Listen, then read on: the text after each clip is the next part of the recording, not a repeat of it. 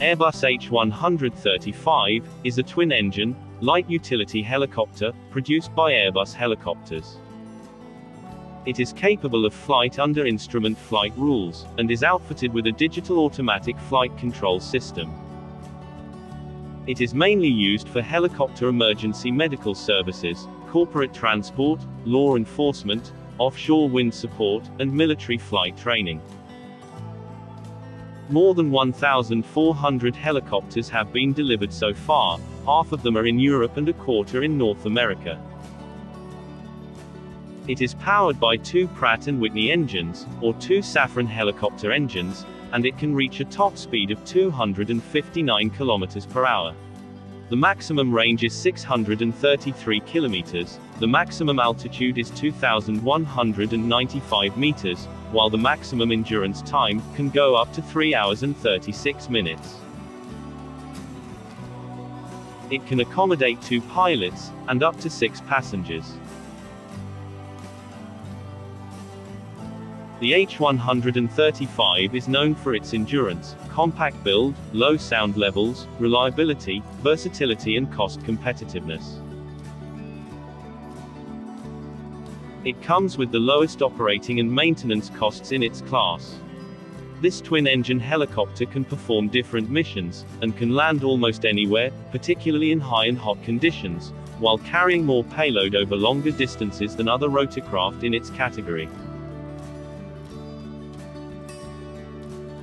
The state-of-the-art cockpit, with its new 4-axis autopilot, provides the highest possible safety levels.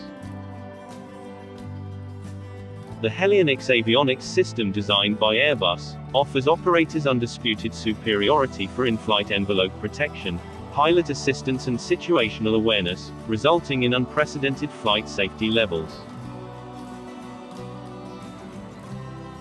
It can be fitted with a night vision goggle, friendly cockpit, cabin layouts and exterior lighting.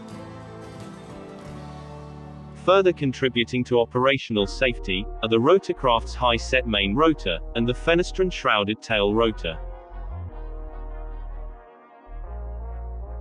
As one of the quietest helicopters in its class, the H-135 sound footprint is markedly lower than that of other helicopters in the same category.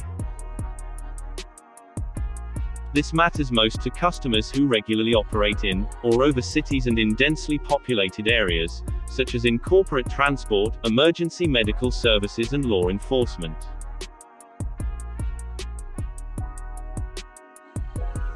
For example, it is allowed to fly in the United States Grand Canyon, which has one of the country's most stringent noise limitations.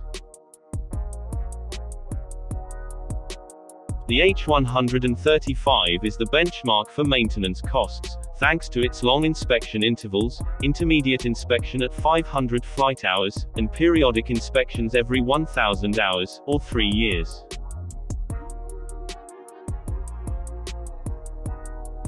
The estimated unit price varies between $3 million and $4 million.